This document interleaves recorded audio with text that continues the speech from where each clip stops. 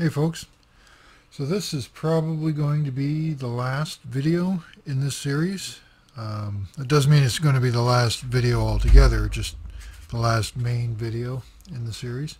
Uh, I may add future caveats to this series as I um, uh, uh, have, as I have um, more opportunities to show um, different elements like uh, winter weathering winter camouflage or I'm presented with uh, exhaust that I could weather or so on and so on and so on.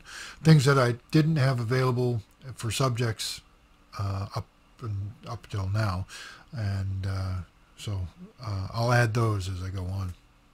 So this video uh, I'm going to show um, the final pigments, the accumulation of mud and dirt um, and uh, uh, exhaust stains, um, that sort of thing. Um, now, the vast majority of it is done with pigments, uh, and in my case, they're homemade pigments made from chalk pastels.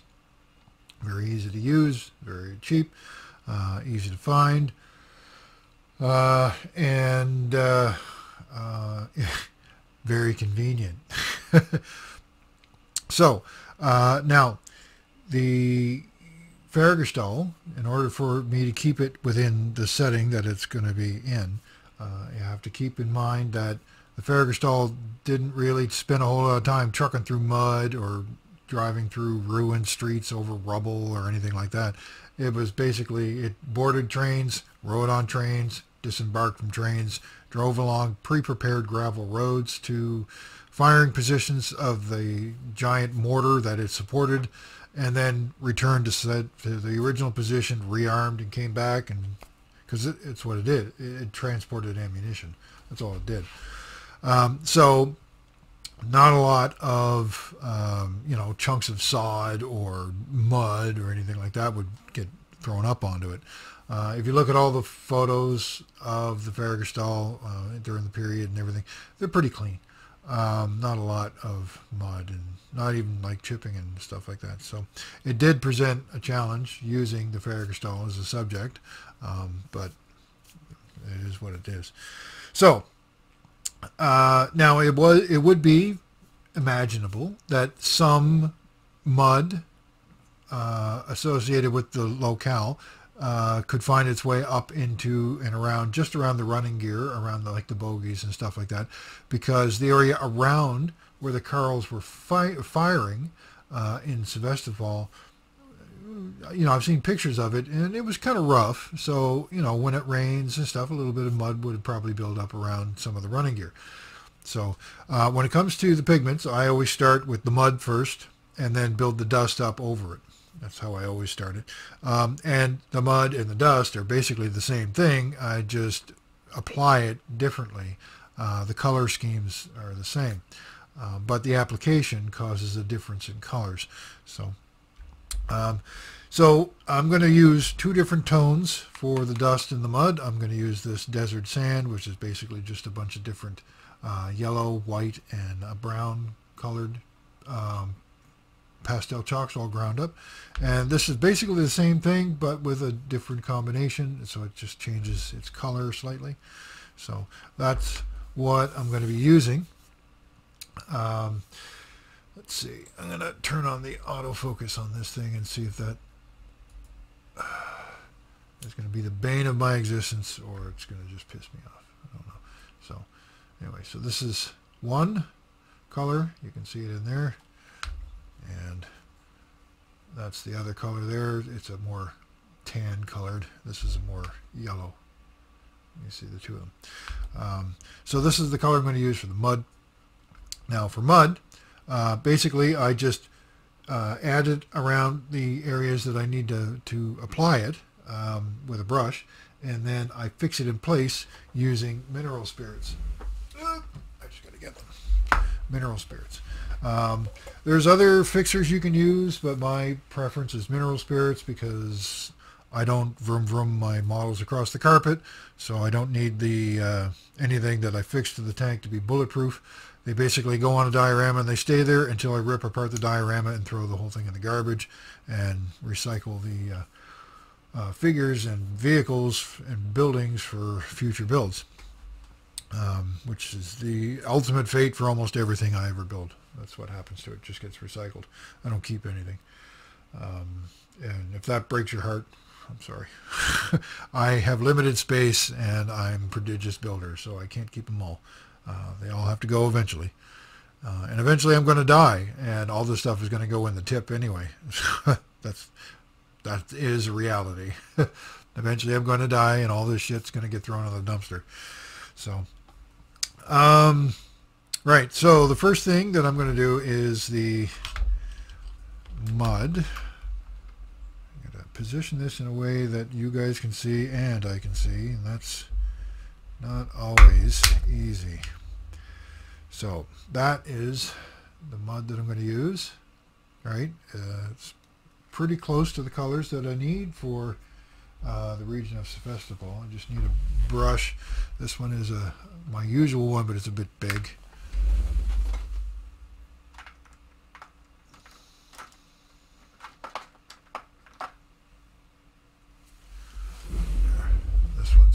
Smaller. I'll probably do. So I pick it up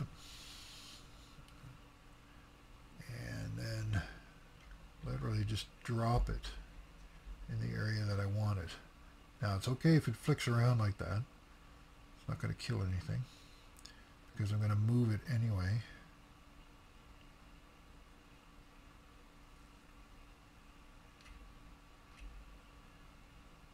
Into uh, better positions as I go.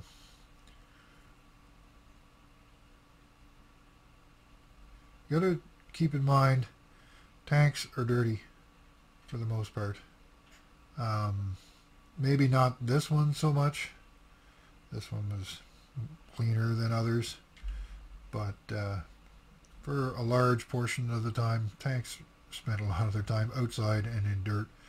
So uh, it's not unimaginable that they have accumulated wealths of mud and dirt. Now when you're doing around where the sprocket goes, you got to make sure you don't put so much on that you foul your sprocket so it won't won't stay where it's supposed to go. Now you can put your mud on as thick or as thin as you want what you're trying to do is make sure there's no pattern.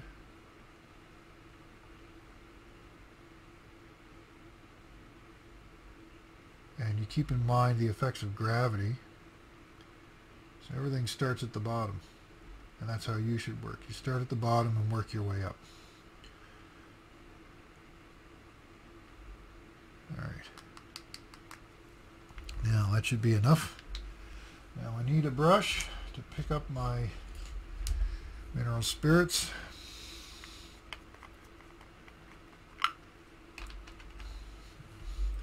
This is the brush I'm going to use.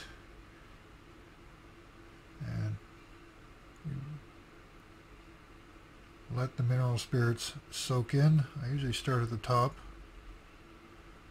like this.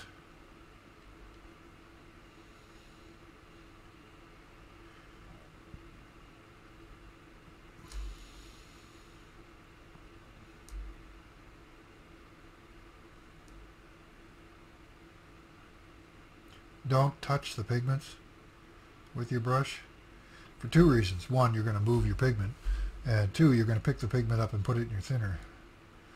So you don't want to do either of those things.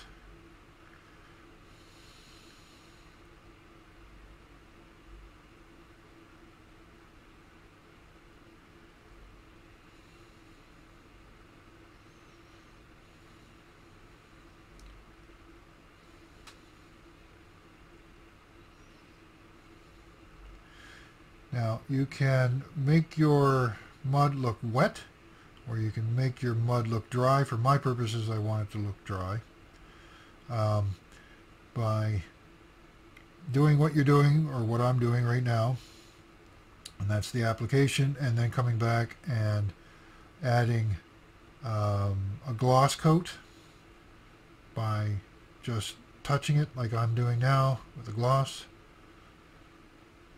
I find it rather effective. It just soaks in. Sometimes you have to do it several times, several coats. It's best to do it that way. That way you build it up rather than start big and then you're screwed. But I've mentioned that little theory several times already. I just hit the camera with my head. Camera's really close to the subject here.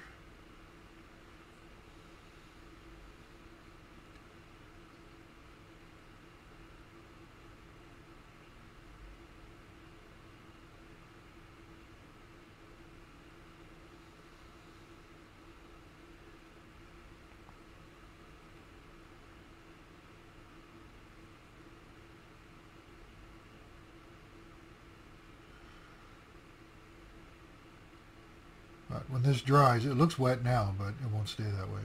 When it dries, it'll return to the color.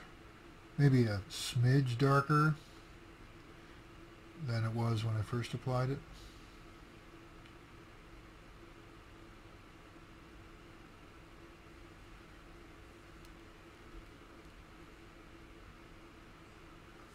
There.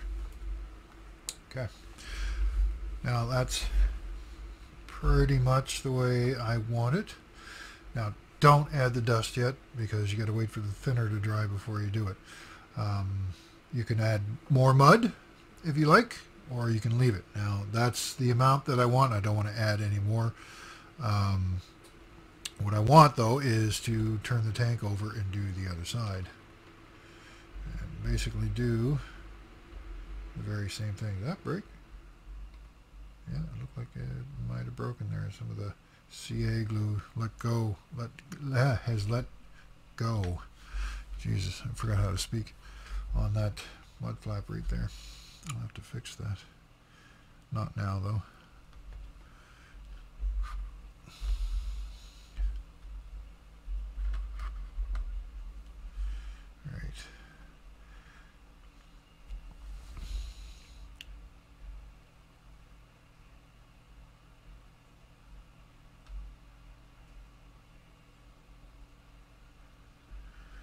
Same thing as I did on the other side. And you got to try and remember to um, maintain the same level of mud. Like, so if you put so much mud on one side, try to put the same amount of mud on this side. It uh, may not be really noticeable at first, but eventually over the time when you're looking at the thing, you're going to notice it. Six months after you build your tank, you're going to go, oh, I didn't put the same amount of mud on either side. And it will bug you and bug you. But there's hundreds of things in modeling that that can happen. Oh, I wish I had done that. But it ends up being too late. You can't come back to it.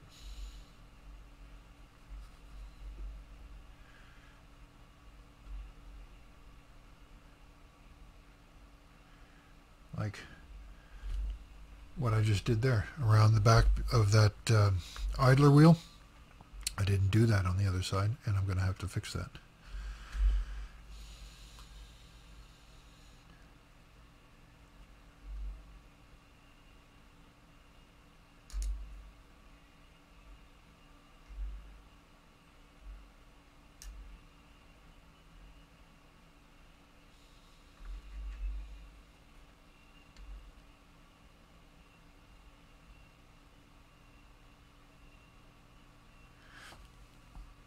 Sometimes it can help if I turn this around.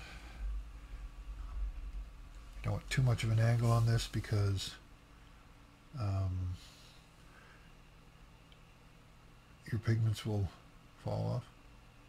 But use gravity to get the pigments to flow in the direction you want.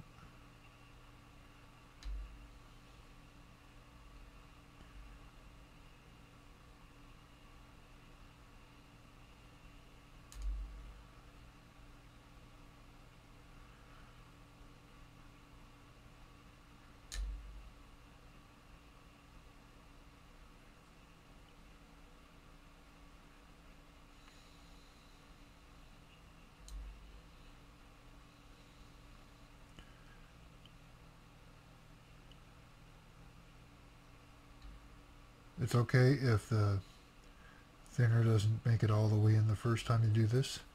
I mean, it's slow. The capillary action of the thinner working its way into the pigment is slow. Sometimes it can take like five or ten minutes for it to slowly seep in. But uh, in all fairness, if you let that happen, I find that the bond isn't as strong. I mean, it's not very strong anyway. I mean, it's just mineral spirits um, clumping together and using uh, basically friction to hold your pigment on. It's not an adhesive, really. Not, not essentially. Now, there's different kinds of pigments. There is a lot of the over-the-counter pigments, like the stuff you buy from AK and MIG. It's not made from chalk pastels. It's uh, made out of actual ground paint pigments. So it's like the stuff they use to make paint uh, that hasn't been thinned. It's just a powder. And then uh, they put it in a bottle and say, here, here have some pigments. Uh, I used to know a place where you could just buy that, uh, but I'm not so sure I can remember what that place was called. It was here in Canada, the place that I used to get it from. I bought some a long time ago, but it, was before I really got into modeling. And uh, um,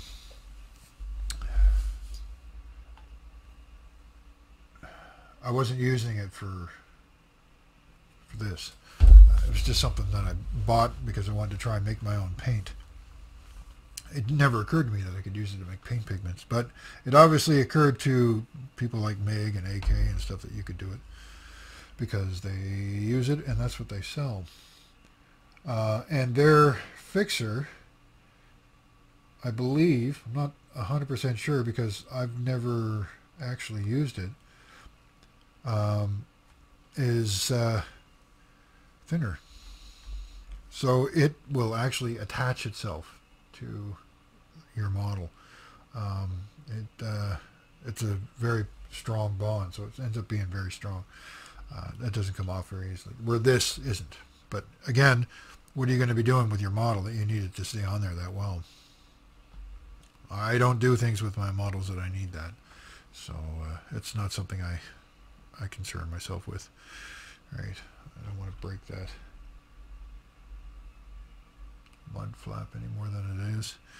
I'm just going to put a little bit, actually I might do it this way. Yeah, that is broken.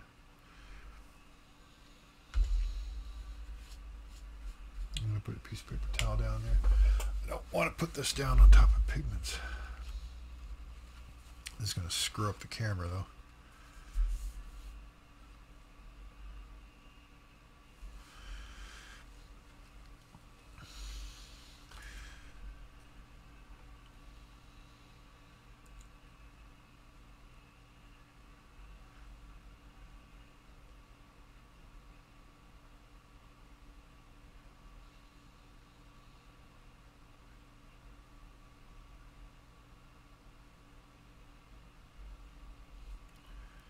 already thinner right there. I don't want to put my brush in it.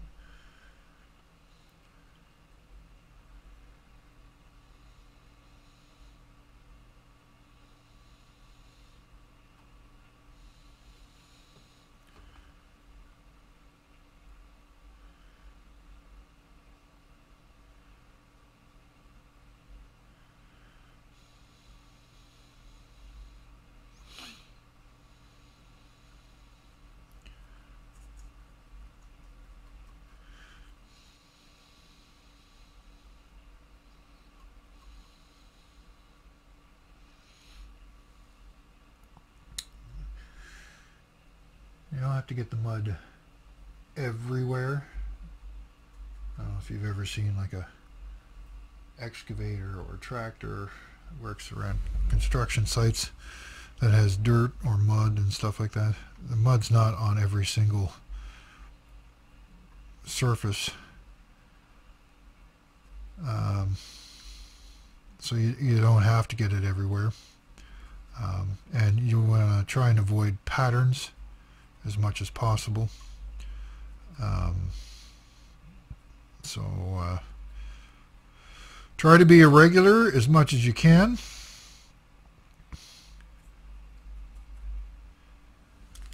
And try to be random. It's funny, trying to be random is one of those things where the more you try, the less you are. It's funny.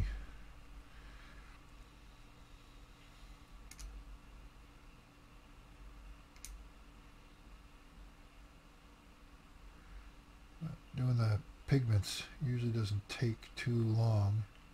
It doesn't take me that long, but the first time you do it, it's going to be a slow and probably nerve-wracking thing because you're taking a tank that's pretty much spotless, at least as far as you can see, and you're purposely marring and hiding your paintwork. I mean, you don't have to put so much on that you're obliterating all of your paintwork. That's not necessary. You don't have to put it on so thick that that's what it does either. Um, but for my purposes anyway, I try to put it on amount an amount that is at least applicable to the setting. So, I mean, if you look at modern tanks and look at what they go through in training, and they're literally just completely and totally covered in mud, right up to the right up to the hatches on the turret sometimes, because they go through these giant mud puddles. But World War II tanks weren't really capable of doing that. They just they they get bogged down and that'd be the end of the tank. In fact, some tanks that's exactly how they were lost. Um, so, but modern tanks are they're a bit different. They're a lot more powerful. You know, more they're capable of a lot more things than World War II tanks. So, using modern vehicles as an example for weathering uh, especially those ones that are in training and stuff like that. Eh, probably not a great idea. Not applicable to the setting for World War II. Um, unless you're doing something that's abandoned and, you know, something that's stuck in a bog or something like that, then yeah, go nuts. But if you're trying to uh, stay accurate to your setting, you have to keep it in mind that uh, those are modern vehicles and they're very capable of doing different things than World War II vehicles. Um, but World War II vehicles would get very, very dirty because they would be in the field for very long periods of time and not get cleaned other than uh, by rain. And when they were out of the field, they only got cleaned enough to work on to fix. Uh, unless, like, you know, camouflage paint had to be reapplied or had to get the vehicle had to be repainted for its new theater or that kind of thing. Then they got cleaned. But it's not like they had a pressure washer handy. They did have hoses and stuff and everything, and they did wash the tanks. But not like modern tankers do.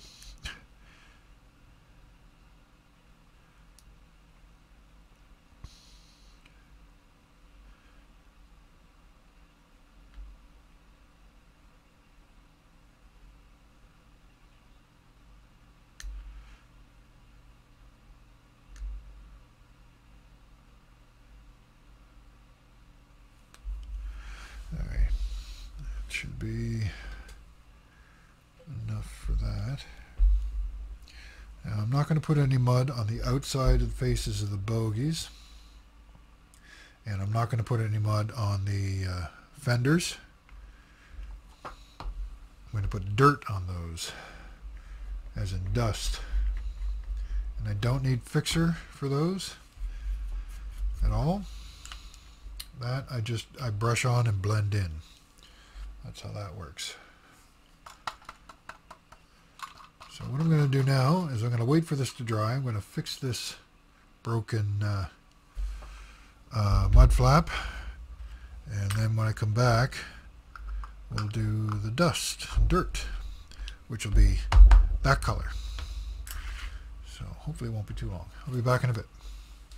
Okay, um, so one of the things I was hoping to do in this video series, and I've already done it a couple of times I think, and that's make a mistake and then show you how I fix it, or at least talk about how I fix it.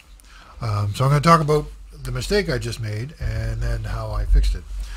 Um, so uh, the mistake I made was I forgot the setting for this vehicle. Um, that was the mistake I made. I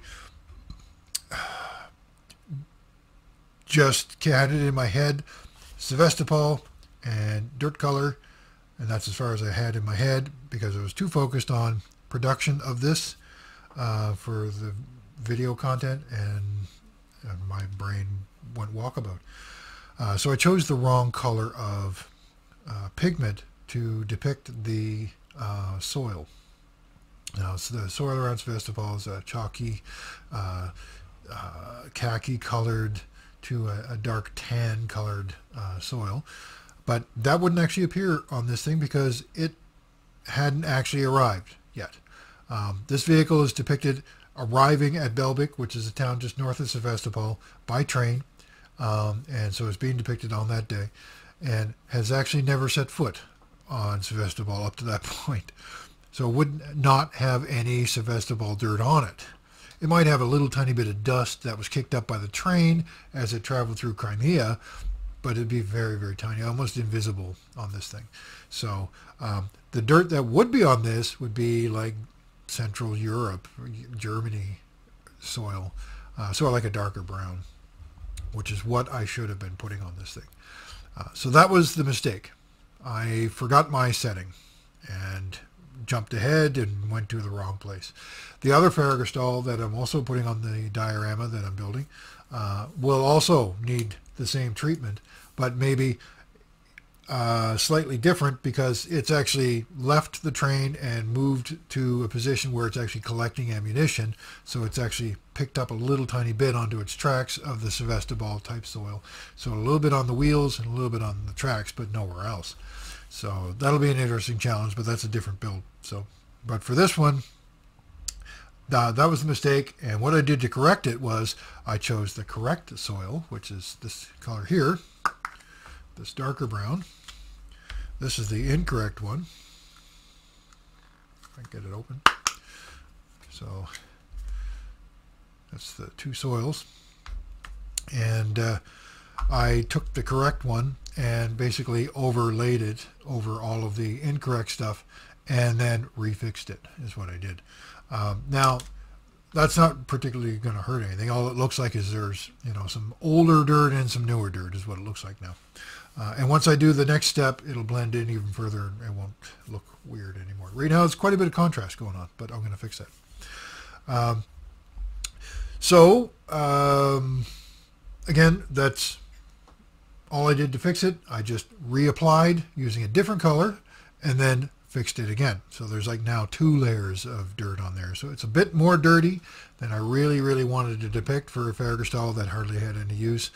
But I don't know, maybe the day before it, it, train, it, it trained and headed towards Sevastopol, it was going through training and got some dirt on it.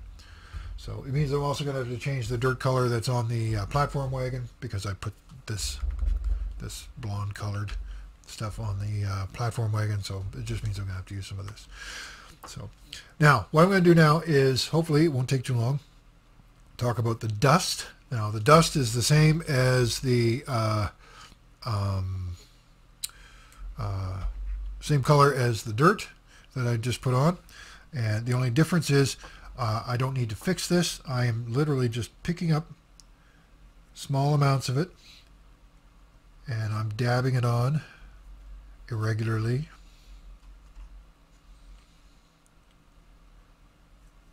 You don't want to pick up too much, just small amounts, dabbing it on irregularly.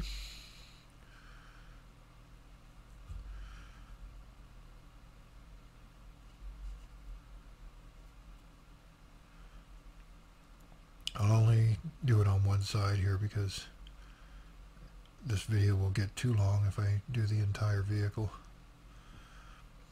do the wheels.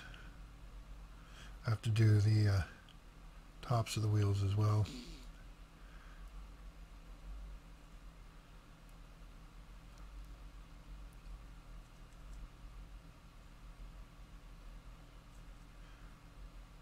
Try to add some variety so some wheels are dirtier than others. They don't all have to be exactly the same.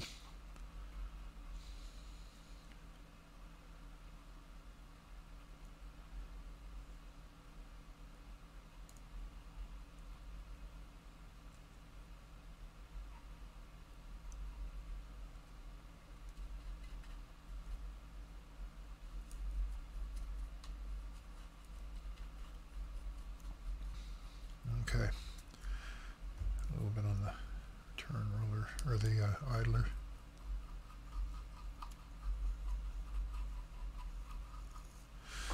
Alright, so now the next thing you're going to need to do, you can use the same brush you used to apply it if it's soft enough. you got to blend it in. You don't want it's so clumpy looking like it is.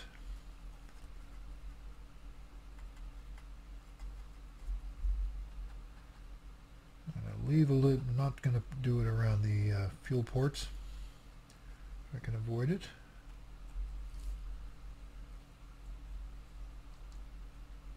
Because I'm going to do some fuel stains here in a minute. I'll show you how I do that too.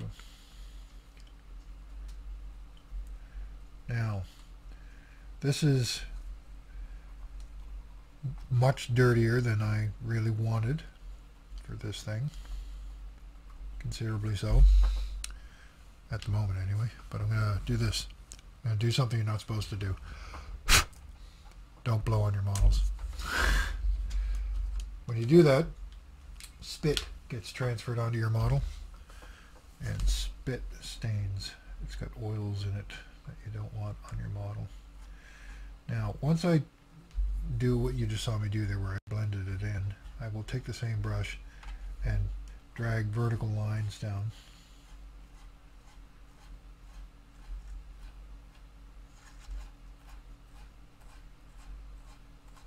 Lines aren't actually appearing, just so you know. It's just, it adds a smoother, more dusty look to it.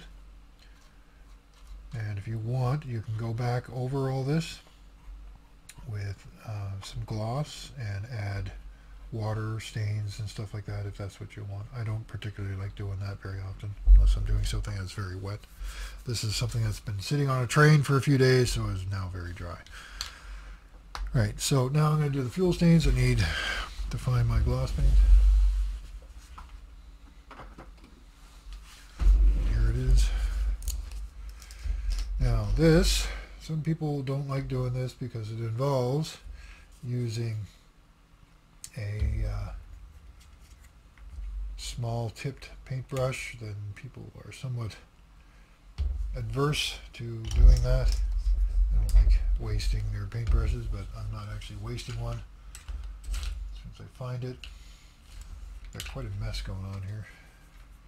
I don't usually work like this, but the video production is adding some complexity to my organization. So I pick up some uh, gloss with my uh, uh, small brush. Now I've already pre-painted some dark uh, stains underneath all this. And what I'm doing is dragging this gloss through the pigments in a run that clears off some of that, some of those pigments, exposing the dark paint underneath.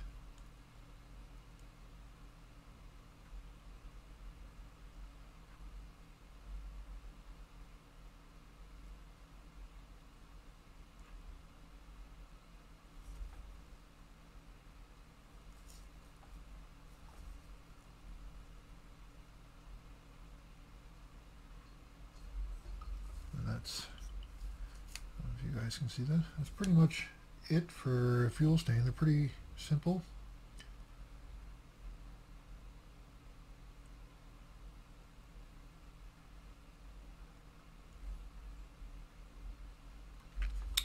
Now you can do the same thing to make mud look wet, doing the same thing. You, but sometimes you have to put several coats on because the uh, pigments are extremely dry and they are very absorbent. So they uh, tend to suck up considerable amounts of material. Where's my water? I just accidentally dipped this brush in those pigments. I don't know why I did that. Probably because I'm paying attention to the video and not paying attention to what I'm doing. There's a fuel port here that if I can get the camera to pay attention to what I'm doing and I need to see what I'm doing. Now I'm not going to have a lot of pigments around here. The only pigments that I've put around here is a little bit of soot. But I've already done that but I'll show you guys how to do soot here in a minute.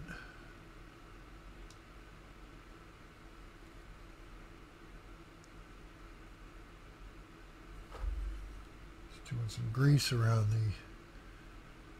the um, tension, the idler adjusting, adjuster rods or um, bolt.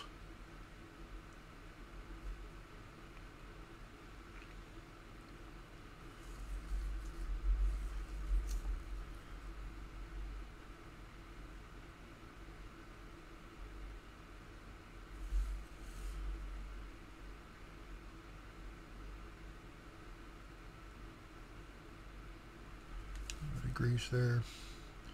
It'll just look like something shiny.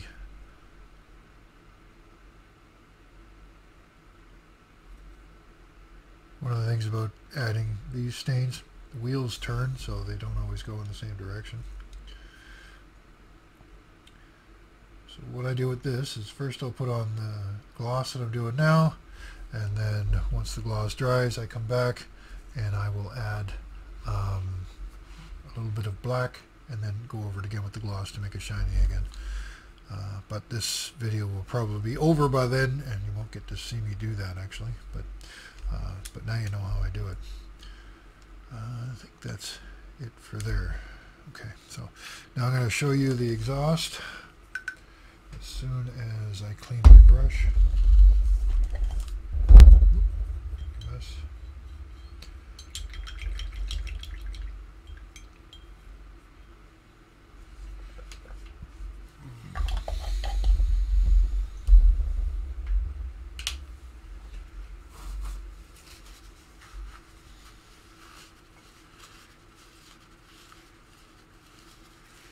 once I'm done filming this, I'm going to go around the rest of the vehicle and uh, do the rest of the pigments, but I'm going to do the dust for the uh, grime. Now I have, I just freshly made this, if you guys can see it. I have, these are my, this is my uh, black um, pigment that I use sometimes for doing soot and this is Grimy Black from Doc O'Brien's Pigments. Uh, this is from a railroad set that I bought many, many years ago. It's top quality shit. Um, if you can still find it, I don't even know if they still make this stuff or not, but this stuff is brilliant. Unfortunately, it comes in these tiny, tiny little containers and it costs a lot of money, which is one of the reasons why I never bought it again, because it costs too much money and they don't give you anything. However, it goes a very, very long way. So keep that in mind. That big expense goes a long, long way. However, I made this amount of pigment, which is three times the amount of this, from a teaspoon of, um, uh, uh, what do you call it? This. Those. You can see them. Uh, I bought that on Amazon. It's just a um, pre-ground pigments that I bought on Amazon uh, a few years ago. I, I, can't get it anymore. I haven't found it again anyway. Um, I bought several colors of that. And I just take that and I grind it up in the mortar and pestle and it makes uh, three times the amount of that. And I add a little bit of gray to this. Uh, I have some here. Yep, a little bit of gray.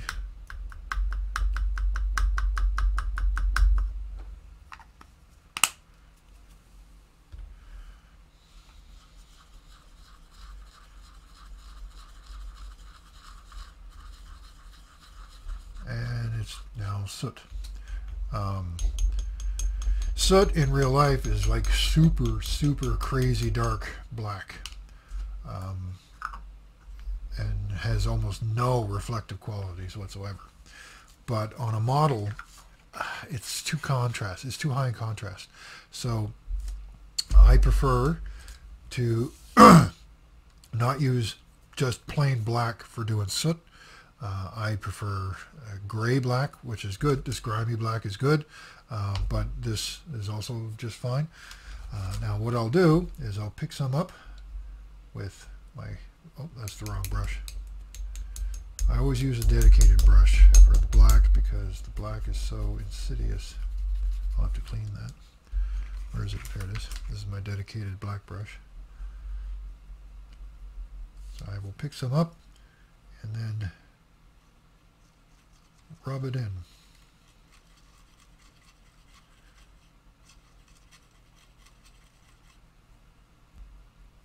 And you don't have to go crazy with this effect. It's counterproductive to go crazy with it. You will screw things up. Now there's two exhausts on this thing. There's another one right up by the fuel port, which I don't really understand. So I'm going to put a little bit of a stain on top of the muffler.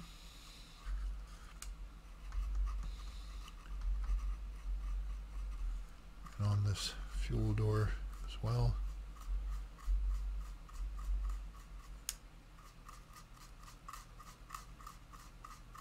give it an upward twist. There. And that's about it. Now, when it comes to exhaust stains, you kind of have to be a little bit careful with them uh, because it's very easy to go overboard. The other thing you have to be careful about exhaust stains um, is, especially if you're doing uh, like um, shell exhaust, like soot on a muzzle brake, it is so easy to go overboard on that and uh, um, do too much. I mean, you got to realize um, that German uh, shell um, powder, powder in German shells, didn't produce a whole lot of smoke. Uh, it was actually quite clean um, in comparison. Um, and so their muzzle brakes didn't get as dark and burnt and blackened as we modelers really love to portray. Um, they would have to shoot hundreds and hundreds of rounds. Well, not hundreds and hundreds, about a hundred rounds before the barrel would get like crazy black. But as modelers, we love to soot up the barrels of our tanks. Um, I don't know, it adds drama. That's probably why. I mean, it's, it, that's that's one of the things it does. It adds it adds visual appeal. But you got to be careful doing that. If you add too much visual appeal, your model just starts to look stupid and comic-like, and uh, you kind of you lose the plot, right? You forget your setting. Um, so like yeah, like German German shells. Uh, I mean, the, they were weren't as sooty as some of the other ones. Like um, um, Soviet shells tended to be more smoky than uh, Germans. Um, and Allied uh, probably in the middle. Depends on the which military it was and what shell they were using. And each shell is different too, right? Depending on what shell it is. So, but um, on average, though, the um, amount of scoring, like carbon scoring on the uh, the end of the muzzle brakes, wasn't as egregious as we modelers love to portray. We go kind of crazy at it. Um, and when you see it in photographs, uh, some look bad and some don't. That's because, you know, it depends on the setting. Um, or some tanks that you're looking at the picture, that tank may have been in combat for uh, five or six days, and the crew hasn't had time to um, to tend to maintenance or anything yet. Um, so, or they're on their way back to the maintenance area, or they're going from one place to another and they don't have time to, to clean it up and stuff. So, I mean, one of the things that they did was clean their barrels. And when they cleaned them, that carbon scoring got cleaned off sometimes. So, actually, a lot of times.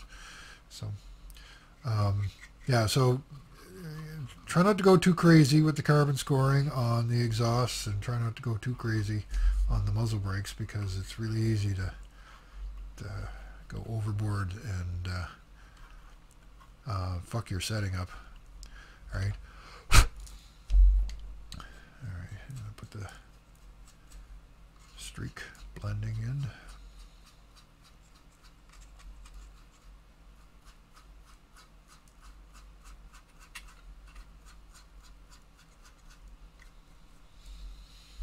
Okay, happy with that. Now, you gotta also do the same treatment to the underside. Well, you don't have to, but um, I have heard stories at competitions where there have been a few judges that have picked up models to look at the underside of them to see if they've been weathered. I got to tell you right now, if I ever see a judge pick up one of my models at a model show, that would probably be the last thing he does with that hand for at least a long time. His wife's going to be opening his ketchup bottles for him for a while. But uh, yeah, there's no fucking way I'd allow a judge to touch my model. That's that's uh, no no. You don't do that. But apparently there was some kind of um, tomfoolery about that at a big IPMS show in 2023. Um, there was a, a one judge or a couple of judges. That's what they were doing. They were picking up models and handling them with their hands. And a couple actually got broken. There was some damage done to models because judges were touching them at uh, the, the big national show. I don't know what national show it was. I don't even know how many national shows they have down in the States. I don't really keep track. I'm also a member of IPMS, so I should probably know but I'm a member of IPMS Canada, not IPMS USA, so I don't really keep track. but anyway, yeah, so um, if you do take your model to a model show, you should keep in mind that sometimes some crazy shit might want to pick up your model and look at the underside of it. And uh, that might uh, negatively affect your score. So I'm just continuing what I was doing.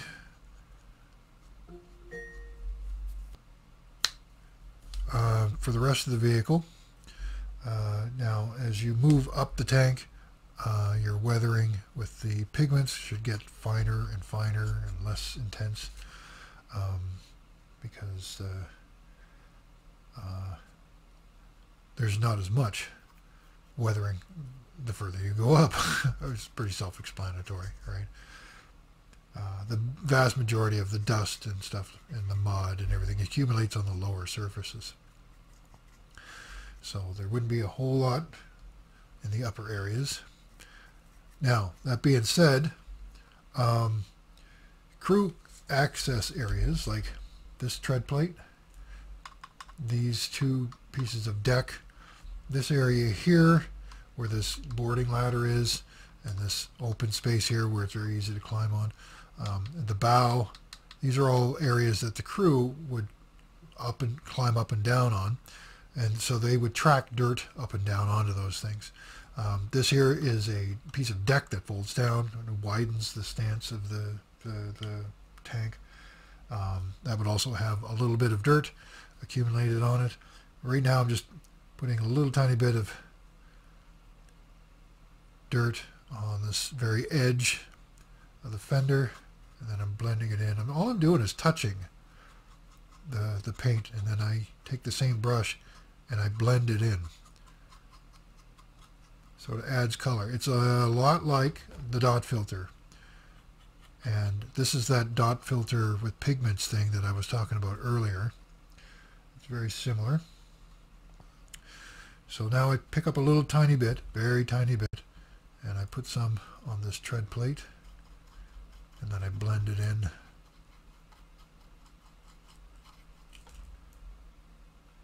and you really have to be subtle with this go too crazy and it's so easy to overdo I've overdone it many times when I was learning how to do this.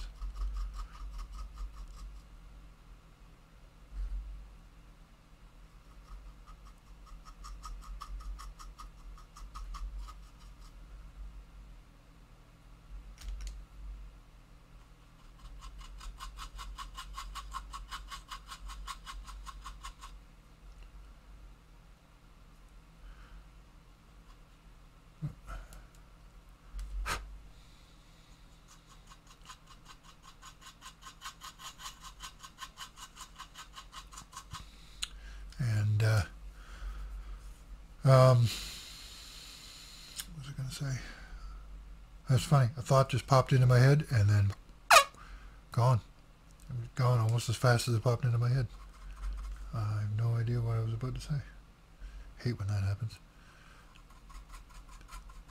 So uh, yeah, anyway, um, so I'm just adding the last of the pigments to the areas that the crew would tend to board and then once I finish I will take my um, uh, I have this stuff is the, the, it's basically it's HB pencil that's ground up into a fine dust and the stuff I have someone gave me it's uh, that Uschi powder um, I used to make it myself uh, and uh, but I was given this Uschi powder a try just because I wanted to try it out and see what it was like it's the same stuff. So uh, all I learned from trying it was that it's the same stuff that I can make. Um, it's not something I need to buy. I don't recommend buying uh, the Uschi powder because you can make it yourself with an HB pencil. Uh, I consider it a waste of money to buy it.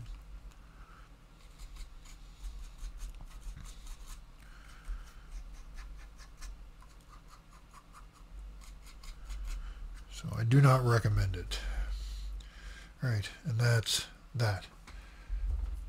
Now, I'm going to get that itchy powder.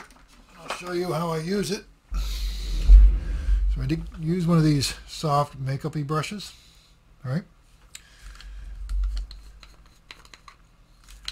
And I pick up some of the powder. And I do the same thing if I'm using the HB pencil ground up. So this that's the stuff. Uschi Uschi shit, and this is the dark iron or the iron.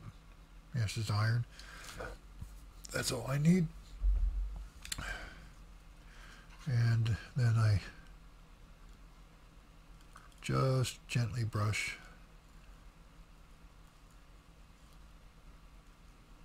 here and there, and that's it. And then blow off the excess if I'm happy. And I usually just the outside of the wheels are steel. That's it. There. And that's that. I don't need to no, I don't need to do those. They're already done. So that's the Uschi powder. And that's the pigments. Now I don't need to fix the pigments because I don't handle my models after they're done anyway other than to put them on the diorama.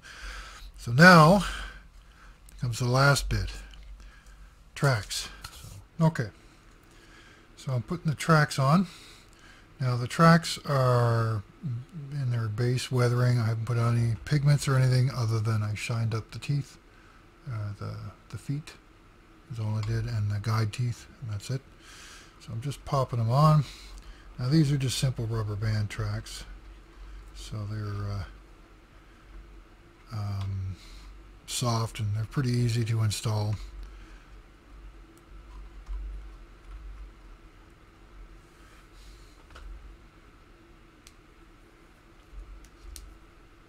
Just got to get the sprockets to put on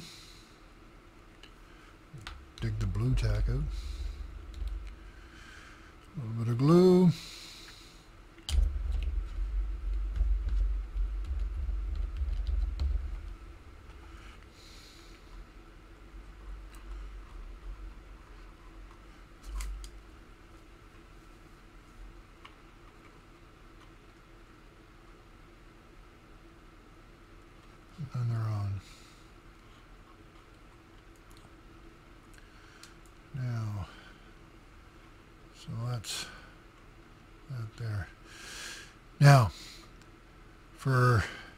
Setting for the Fahrgestell, this thing has been uh, entrained um, and riding on a train for several days, so there wouldn't be any um, like dirt or anything like that on the tracks uh, at this point.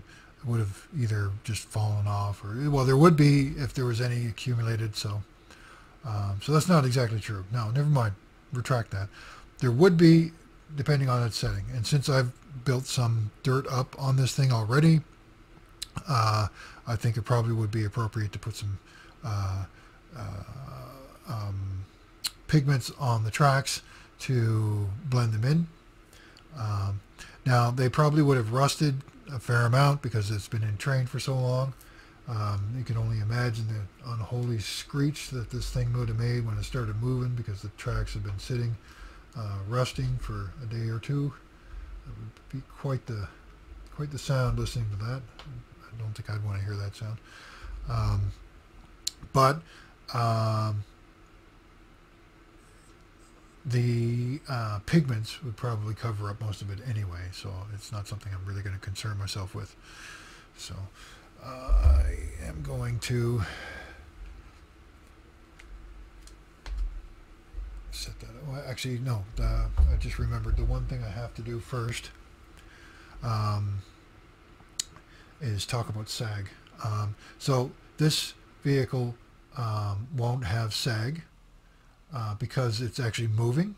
Right, it's detraining on the scene, so it'll be sitting on its disembarkation ramp, the unloading ramp for the uh, the trains, and it's actually climbing up over the hump. So there'll be um, you know the tracks are pushing upwards, and when you deform the track on one side, it tightens the track on the top side. So all the slack will be taken up by the deforming of the wheels on the bottom. So there wouldn't be any sag on this thing. But normally, if I was depicting the vehicle as parked and not moving, I would take a bunch of cotton buds and I would jam them in like this.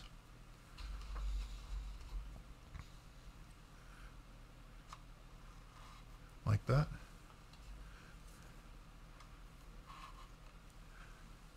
So that there's sag between the wheels like that.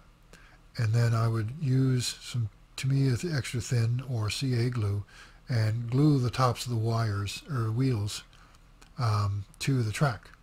But I'm not going to do that in this case because I don't know exactly how much slack is going to be taken up uh, until I put it on the, uh, the ramp. And then once I do that, I'll put a little bit of weight on top of the Fahrgestell so it holds it down and I'll glue it that way. But that, that's very specific to this scene and it's not really applicable for the how-to. So, but that is how I would do SAG. Um, the other method is I would have pins in behind there uh, where these cocktail sticks are. Um, there would be little metal pins and they'd be holding down the track and I would have just threaded the track in. Um, that's the other way I would do it. I've done it that way many, many, many times. And you can't actually see the pins, believe it or not. Once it's all weathered and everything, the pins just disappear. And uh, um, so the pin method is a very useful way of, of uh, weathering your track or um, putting sag on your tracks. So anyway, I'm going to put some pigments on these tracks. And you do it the same way you've done the pigments on everything else. You pick it up and you brush it on.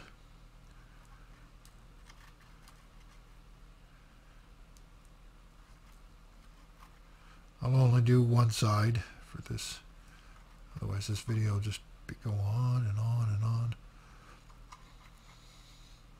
Like all the other videos have gone on and on and on. Now, um, returning to uh, keeping um, in mind, being mindful of your setting. For this vehicle, if I'm being mindful of the setting, Notice I'm paying a lot of attention to that now. Um, there would be really not much in the way of shine on the uh, um, these flat bars for the tracks. And the reason why is because it's been sitting entrained for a few days. So that shine would have just become dull. because the track the, the tank hasn't actually been moving. Now, if uh, this thing was actually moving across like cobblestone streets, or it's uh, um, uh, moving across like uh, crushed earth or like um, like stones or anything like that, um, then I would probably add shine to the teeth so that the shine is sticking out between the dirt that I'm adding now. So once I do this, I would go back in with uh, the HB pencil and brush all of the raised surfaces once again to bring the shine back. It's already been done a couple of times, but uh, believe it or not, it's easy to forget to do it. And there's been many times I've forgotten to do it. Um, so that's why I do it sometimes several times. It's to make sure that I don't forget it. Um, but you can just wait to do it until the very end, like right now. As soon as I'm done this, I would go in and then do it. I would take an HB pencil or some of those pigments you saw me using, the Uschi pig, pig, pigments. Sorry about clearing my throat all the time. I've got some kind of thing going on with my respiratory system. I don't know what it is. It's not a cold. It's something else. I don't know what it is. I don't know. Maybe it's something horrible. I hope it's not. But it's been going on for months now, and uh, I'm having trouble breathing and stuff. I'm always having to clear my throat. So anyway, um, so yeah, I would go in with the uh, pigments, or I would go in with um, the, pencil, and I would just brush or touch all of the uh, high points. apparently, I am going to do both sides of the tracks because I just did it. um, and uh, um, yeah, so I would just touch all the high points of all the tracks and bring the shine back, and uh, and then Bob's your uncle. After that, you're you're just done. So, all right. Now, it may look like I'm finished this, but I'm actually not because I have to do one final thing that you're supposed to do with all of your models once you think you're done. And that's sit back and stare at it, put it on one of those rotating tables if you have one, and just spin it and look at it. Do it for like 15, 20 minutes. And I can guarantee you, you're going to find things that you missed. And then try to fix them. If you, can, if you can't, don't force it. If you can't fix it, say uncle. And don't fix it. Don't force it. You know, it's, it's okay to miss things because that teaches you not to miss them the next time. Right? So, uh, um, I mean, it's it's completely acceptable to for a model not to be perfect. Um,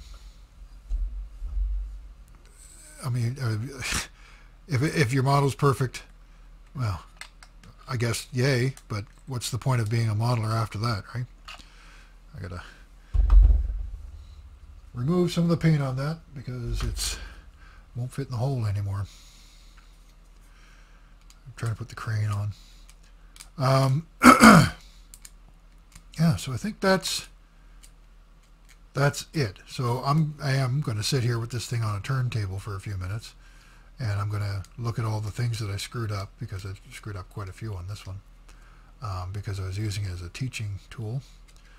Um, but uh, yeah, for all intents and purposes, though, it's uh, complete-ish, and so is this video series.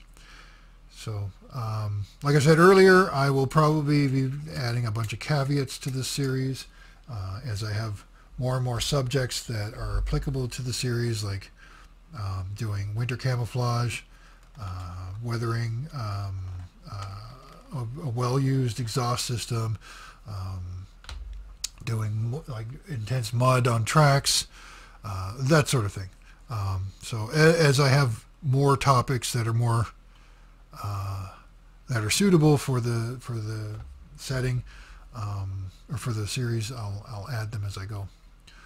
Um, yeah, so I think that's that's it. That's all I have. Uh, you guys can, I guess, look at this thing. There. That's it. Ta-da! It's finished. Well, as finished as I'm going to make it right this moment. Um, I'm probably going to take some pictures and I'll put it up on my Facebook page and you guys will see them at some point. But um, or you probably already have because I probably already have done that. Anyway, I hope this video series was something of use to somebody. I know it was really, really long, but I don't really do anything short. I'm not that kind of guy. I, I'm wordy and I'm full of bullshit. So anyway, you guys be good. Keep your stick on the ice. Bye for now.